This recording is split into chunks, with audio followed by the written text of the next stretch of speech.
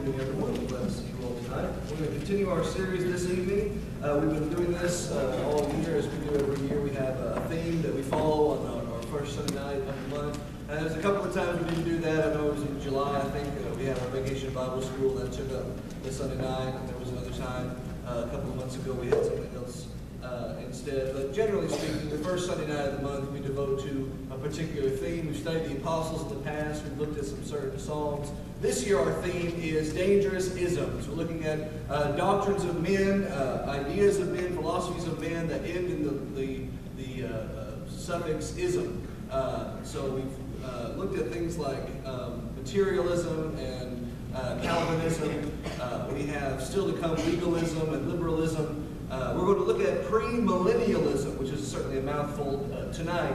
Um, premillennialism. When you oftentimes when you talk about these certain doctrines and you get into discussions with people and you say, hey, listen, you believe this. Does the Bible teach that? Maybe you should consider this verse or consider that verse, and you have these back and forth discussions. What often happens, I've found, is the people who hold to their particular doctrine want to argue some uh, minute little aspect of it. They want to chase a rabbit and they want you to chase it with them. And so they'll say, well, let's talk about this over here. And that certainly is a relevant part of their doctrine, but it is not the core of their doctrine. So you end up as the, the for lack of a better word, the arguer. You end up chasing rabbits the entire discussion. You never really get anywhere.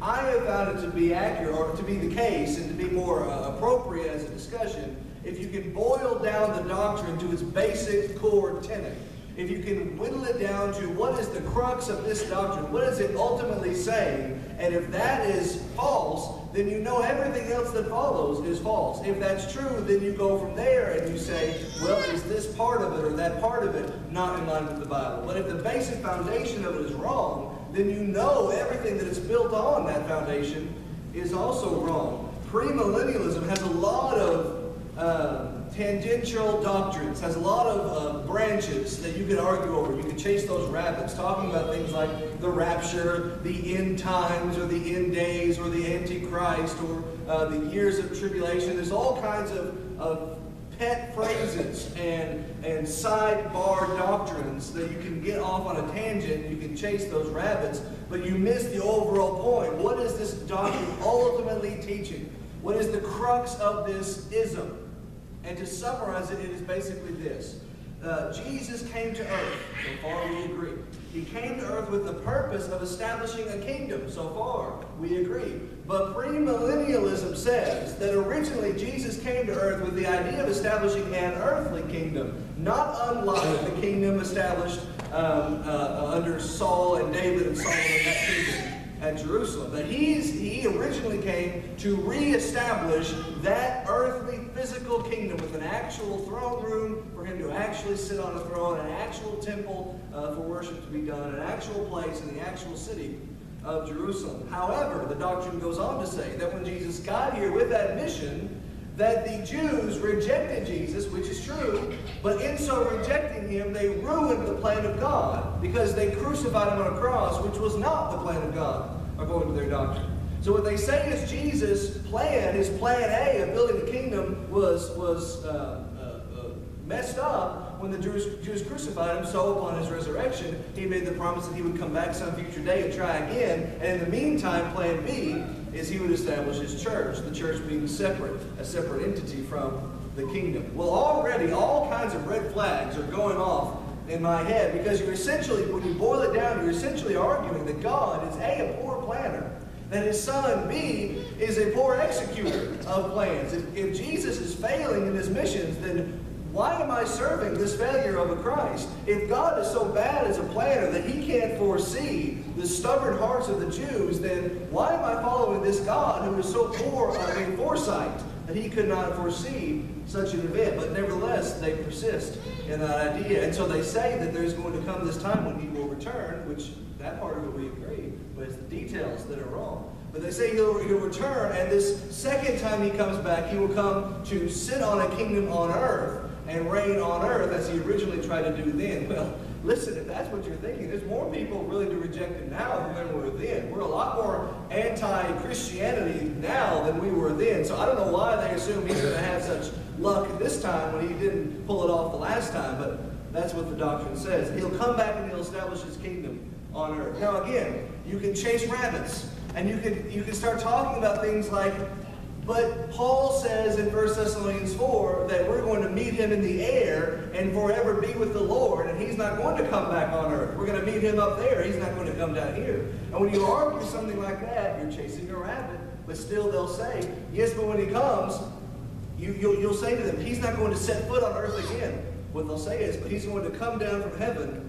I'm not kidding. I have it on tape. Uh, in a debate, this was said. He's going to come from heaven in a seating position and he's going to descend and sit directly on the throne, which will be so tall that his feet will dangle like a little kid on his daddy's chair. And so his feet will never touch the ground, but he'll still be in his kingdom. He'll still be sitting on his throne. If you have to say arguments like that already, that's not even a flag. That's just a crater that has now where your doctrine used to be, just a smoldering hole where logic once existed. If that's what you're seriously arguing, that's what they'll say in order to get around this verse and that verse that you can point out and say, but what about this, but what about that? But before you realize that you're chasing rabbits, uh, and that's not the way to handle it. The essential core tenet of the doctrine is God is a failure. That Jesus came by the sending of God to establish a kingdom, and he failed, so he built the church instead. So our mission tonight is to show that the kingdom is the church, that it was established, and thus every doctrine and of any kind that argues that the kingdom has not yet come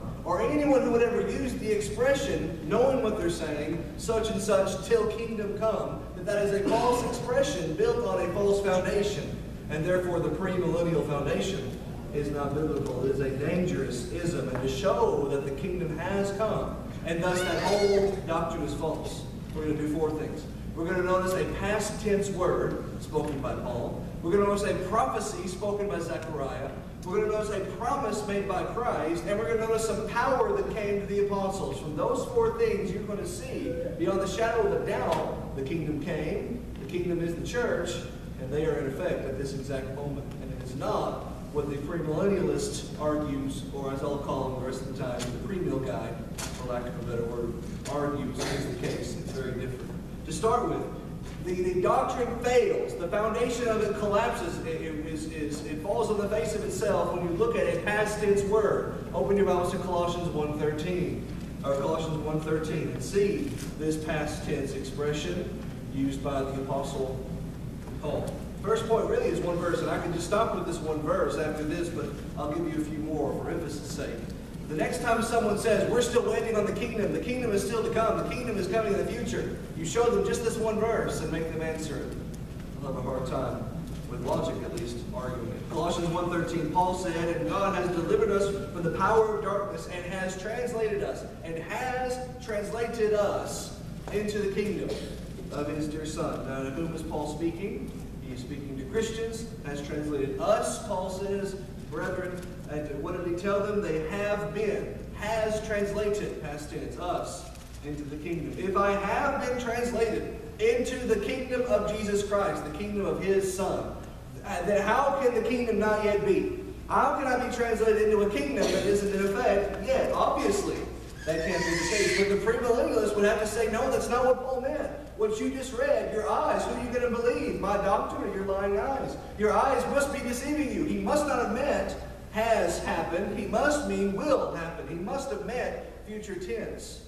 But he didn't say will be translated. He said has been translated. Now, I'm just a poor redneck from Arkansas. I don't have the best grammar. I use ain't and I use words like that. But I know the difference between a past tense phrase and a future tense phrase. And he says have been. And that ain't future tense. It's past. It's past perfect to be exact. But it is past tense.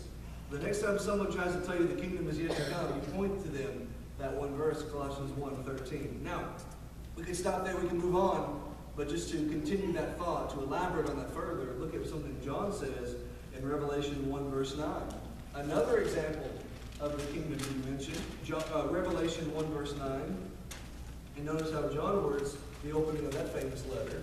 And this, this is one of those books that they will like to use. They'll say, well, what, this, what is this verse talking about here in Revelation? What's that verse over there talking about in Daniel? Don't chase those rabbits. You want to talk Revelation? Look at this very simple verse at the beginning of the book. Revelation 1 9. I, John, who also am your brother, what is he talking to? Christians. and companion in tribulation. Again, tribulation, that's something still to come. That's coming. It'll precede the coming of the kingdom, 70 years or whatever it is of tribulation. But John says, I am your brother in tribulation, present tense, and in the kingdom. Present tense. I have been translated. It's happened, and I am still in present tense, in the kingdom. If John was in the kingdom when he wrote that, how could he be waiting for the kingdom to come? Does that make any sense? The answer is no. Another verse is Matthew 26, 29. Jesus, when instituting the Lord's Supper, giving that last meal and sharing it with his disciples, and he institutes the communion feast that Christians would later partake weekly, as we do, weekly. Jesus says about that feast, Matthew 26, 29, I say to you, I will not drink henceforth this fruit of the vine. I, Jesus, will not drink it until the day when I drink it new with you in my Father's kingdom. Now you ask someone who says the kingdom is still coming, have you ever taken communion? They probably don't take it weekly. Maybe they take it four times a year. That's how I grew up uh, in a certain church, taking it four times a year. You take it four times a year. Even if you take it just one time a year, you're doing it wrong according to your own doctrine because Jesus says, I'll be drinking it with you in the kingdom, and I won't drink it until the kingdom comes, and then we'll drink it together. When I drink that fruit, that grape juice is not grape juice. To me, it represents the blood of my master, and I commune with him together in his kingdom. But if you're saying the kingdom is still coming, my drinking that grape juice becomes blasphemy because I'm doing it against the command of Jesus. He says we'll do it together. Another verse is Hebrews 12, 28, before we move on, where Paul says, Wherefore we receiving a kingdom which cannot be moved. We have received, we receiving this kingdom, since we have this kingdom that can't be moved, let us hold fast uh, to the profession of our faith. So if someone tries to tell you the kingdom does not yet exist, point to them any of these verses. I would just jump right to Colossians 1.13.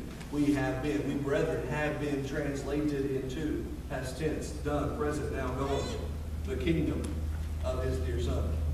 So a past tense word cracks the foundation. Let's continue though. A, a prophecy made by Zechariah tells me there's something wrong with this doctrine because it disagrees with a fundamental tenet of this doctrine. Look at Zechariah in the Old Testament, one of the minor prophets, chapter 6, verses 12 and 13. Toward the end of the Old Testament, one of the last minor prophets, the last big uh, uh, book of the Old Testament, Zechariah 6, 12 and 13. I'm going to read from the prophet. It says this. And speaking to him, saying, Thus speaks the Lord of hosts, saying, Behold the man whose name is the branch. He shall grow up out of his place, and he shall build the temple of the Lord. Even he shall build the temple of the Lord. And he shall bear the glory, and he shall sit and rule upon his throne, and he shall be a priest upon his throne, and the counsel of peace shall be between them, God and the man, uh, between them both. The premillennialist, the premill believer, uh, believes that when Jesus comes back to establish that kingdom, he will rebuild the temple in Jerusalem. If you notice, there is no current temple in Jerusalem. There is a wall that is still left, a wailing wall they call it, that was part of the outer court where the temple once stood. But where the temple was on Mount Moriah uh, is not there anymore. Now it is the, the uh, uh Muslim Dome of the Rock, I think is what it's called. Uh, the Dome of the Rock, something to that effect. The one with the big golden uh, dome on top. And it, within it is the rock, the, the actual mountain peak of that hill where the Ark of the Covenant stood in the midst of the tabernacle, or the midst of the temple, the permanent structure. Well, it was leveled during the Crusades, and that um, uh, Muslim mosque was built in its place.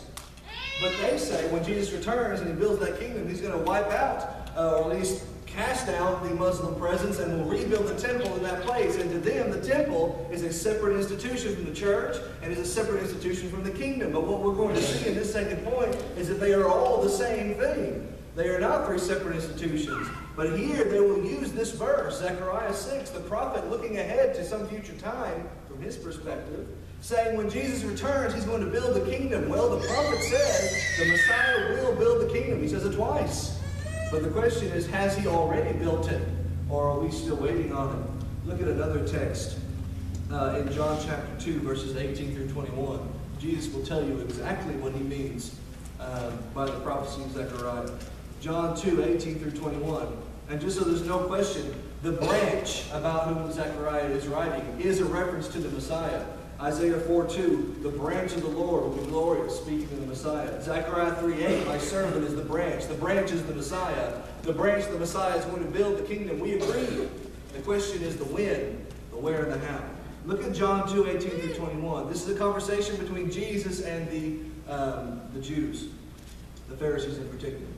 Then answered the Jews and said to him, What sign do you show to us, seeing that you do these things? What gives you the right to drive us out of the temple with a bullwhip? What gives you the right to do these things? And Jesus answered and said, If you destroy this temple, everyone look at me, if you destroy this temple, and I don't think Jesus used air quotes, but it's implied, we'll get to that in a second.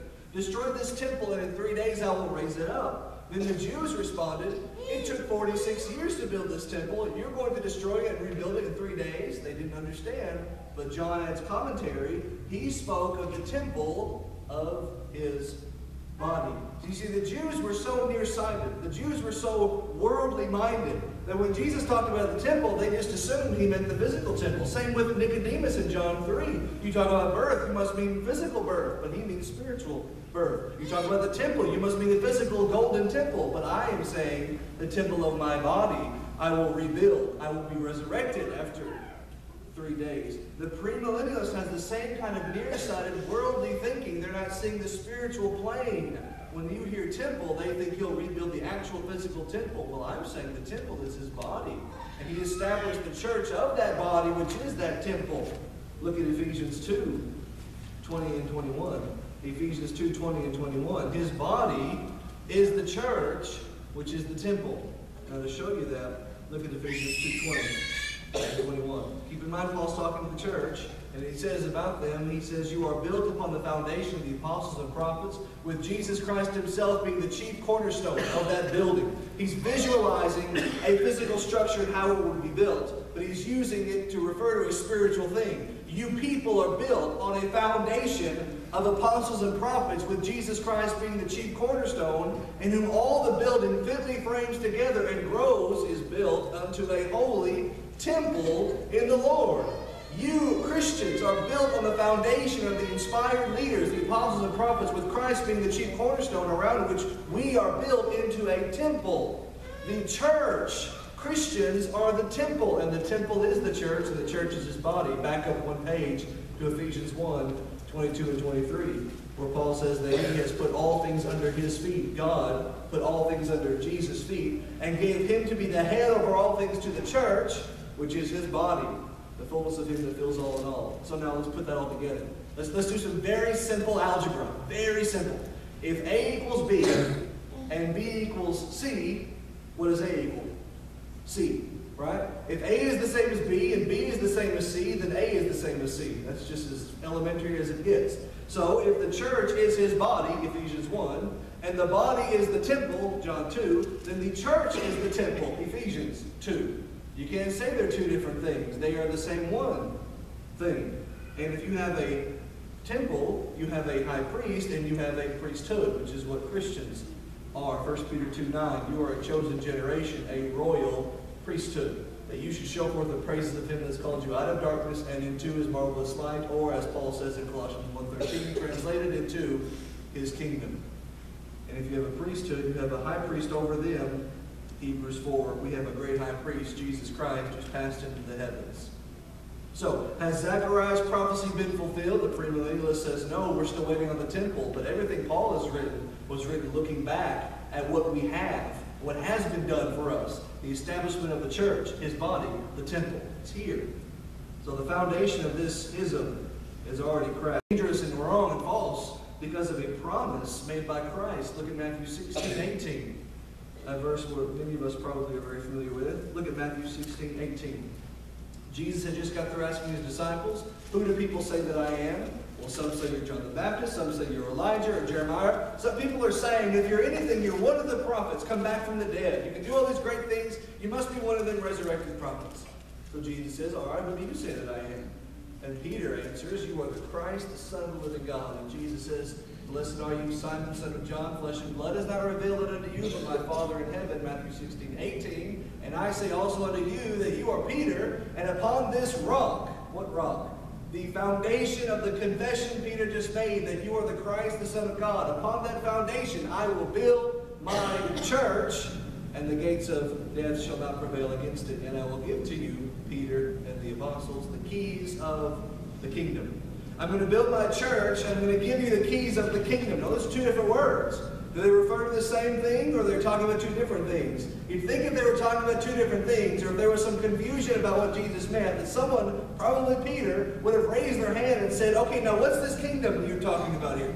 You're going to build your church and give us the keys to the kingdom. What's that talking about? But they understood grammatically, obviously, he's referring to the same institution, just using two different words to describe. I'm going to establish my group of called out people and give you the keys that will open the doors of that kingdom. Matthew 16, 18 and 19. So who has the keys? Peter and the apostles. What do keys do? They open doors to a kingdom. He's not giving them keys to a door that has no building around it. So there is a kingdom that's going to be a place for them to open the doors to let people into. Did that happen? The premillennialist says no. His death ruined that. But your Bible says otherwise. Look at Luke 24, 46 and 47. Jesus, this is his uh, Luke's account of the Great Commission and the, the, just before the resurrection of Christ. Luke 24, 46. Jesus says to his apostles, Thus it is written, and thus it behooved, it was necessary for Christ to suffer and rise again the third day, and that, Luke 24, 46 and 47, it was necessary for me to die and rise again, and that repentance and remission of sins should be preached in his name among all nations, beginning at Jerusalem. Peter and, and the apostles are giving you keys to open a kingdom. Repentance and remission of sins should be preached in Jerusalem. What are the keys of the kingdom? They will open the doors. Repentance and remission of sins. Can you find a time when Peter preached repentance and remission of sins to convert people to the church, which is the, the temple and the kingdom?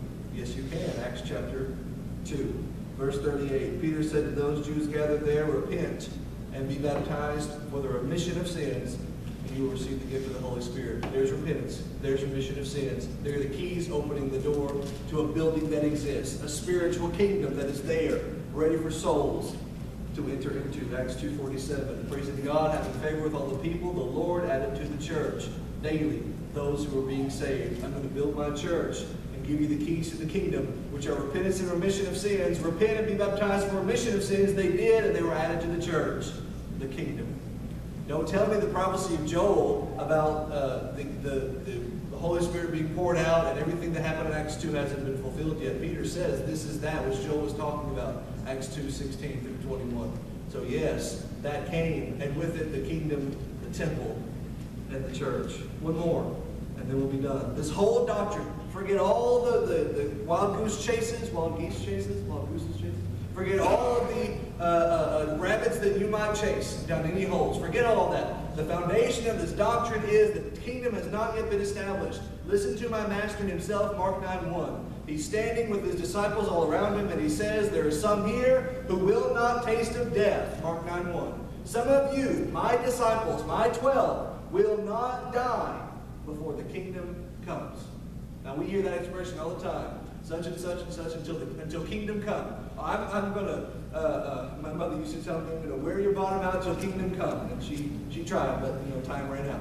But you, you say such and such till kingdom come, forever and ever and ever, a long time until kingdom come. We're waiting on the kingdom to come. Jesus says some of you apostles will not die till kingdom come. Mark 9 1. Till you've seen the kingdom of God. In fact, he says come with power. So if we can find that power, we can find the kingdom. But even if we're not good Bible students and we can't find the power, common sense tells us something. There ain't no apostles still alive. Anybody found a 2,000-year-old Peter running around? With his mouth, you would have heard him, you would have found him. No, they're dead. The kingdom has therefore come. But just to answer the question of what is this power, go back to Luke 24 and look at verse 49 where Jesus says, I send the promise of my Father unto you, but tarry in the city of Jerusalem till you receive power from on high. So the kingdom is coming, and some of you are going to be alive to see it, and it's going to come with power. Stay in Jerusalem because you're going to receive power from on high. And then you jump forward to the next book, written by the same author, Acts 1-8, also written by Luke. And he records of the apostles, or of Jesus saying to the apostles, You shall receive power after which the Holy Spirit will come upon you. So you've got Jesus promising the kingdom is coming with power, that it will come to the apostles, and it will come to the apostles in Jerusalem. So if you can find the time in your Bible where the apostles receive power from on high in Jerusalem, you found the kingdom. And therefore, the premillennial doctrine just collapses. Acts 2, 1 through 4. Acts 2, 1 through 4. When the day of Pentecost was fully come, they, the apostles, were all with one accord and in one place, and suddenly there came from heaven a sound like a mighty rushing wind, filled all the house where they were sitting, and there sat upon each of them cloven tongues like as of fire, and they were all filled with the Holy Spirit. The kingdom is coming, the kingdom is coming in Jerusalem, the kingdom is coming in Jerusalem with power. Boom, power comes. And it comes even with a noise, just so the people can be gathered to wonder what the noise was and hear the first sermon preached by these apostles, now filled with the Holy Spirit and speaking in other tongues as the Spirit gives them utterance. You can't tell me the kingdom has not yet come. Where is the 2,000 plus year old John still waiting on the kingdom? No, he was alive to see it come. It came with his coming with power, with John's coming to Jerusalem with power from on high. If you disprove a doctrine at its foundation, you defeat the doctrine. I don't need to know everything the doctrine teaches about the rapture. And even though we can argue it, and I can show you what the Bible says, I don't need to know. I don't need to know everything that the Bible says about the Antichrist, even though your Bible talks about antichrists and people who are against Christianity. I don't need to know all the, minutiae of your doctrine about uh, the, the years of tribulation, all of that nonsense, because and all the stuff you read in the Left Behind books and you see in those cheesy Left Behind movies, which is just more fictional than Lord of the Rings. Lord of the Rings is more accurate than those Left Behind movies and more entertaining too. But I don't need to know that because the foundation of your doctrine is the kingdom hasn't yet come, but your Bible says otherwise. So you're looking for truth in all the wrong places, apparently. You see there's a past tense word spoken by Paul. You have been translated. There's a prophecy spoken by Zechariah, fulfilled by Jesus. There's a promise made by Christ himself, and there is power that came to the apostles. All of them show a kingdom has been here. Maybe you are here this evening, not yet a member of that kingdom. Maybe up until this point, you thought you were waiting on the kingdom to come. Well, it has come. Are you willing to come to the cross? And be saved by Christ. Repent and be baptized, as Peter said, Acts 2.38, for the remission of your sins, for admittance into that kingdom where you can serve your Lord, your King, with faithfulness. If you've not been faithful, will you repent and be restored back to faithfulness so that we can help you all your way to heaven someday? If we can help you in any way, though, let us know how right now as we stand.